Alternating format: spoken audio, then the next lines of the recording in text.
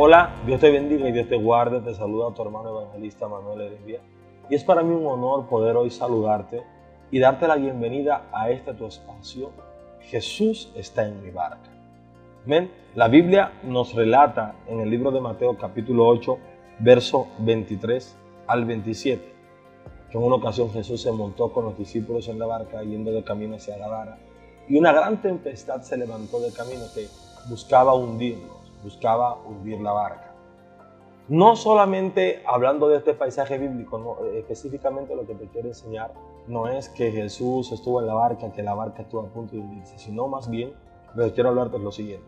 El que Jesús esté contigo en tu barca, el que Jesús esté contigo en ese camino que emprendiste, en esa decisión que tomaste, no quiere decir que en el camino no vas a tener obstáculos no quiere decir que en el camino no vas a pasar por circunstancias que te harán flaquear y que te harán creer que Dios no está contigo.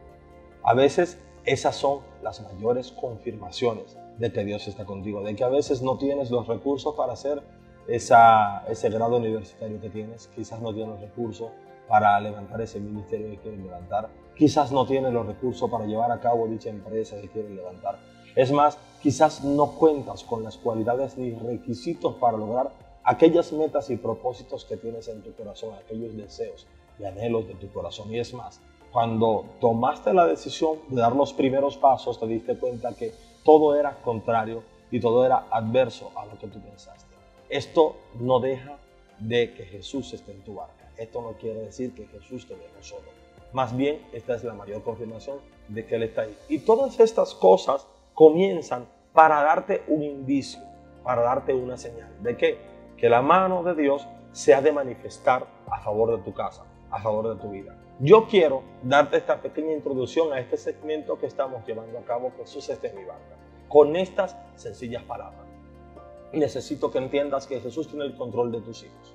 Quiero que sepas que Jesús tiene el control de tu matrimonio, tiene el control de tus estudios, tiene el control de tu salud, quiero que sepas que todo lo que estás emprendiendo en esta vida, todo lo que le estás echando ganas, donde estás comenzando a dar tus primeros pasos, aunque se vea imposible, aunque se vea difícil, Él está ahí. Y estoy seguro que si Él te envió, Él te va a respaldar. Agárrate de esta palabra y comienza desde hoy a decirte a ti mismo, Jesús está en mi barca, no se va a hundir. Jesús está en mi familia, no se va a destruir. Jesús está en mis hijos y mis hijos no serán de perdición, sino para salvación. Decláralo sobre ti.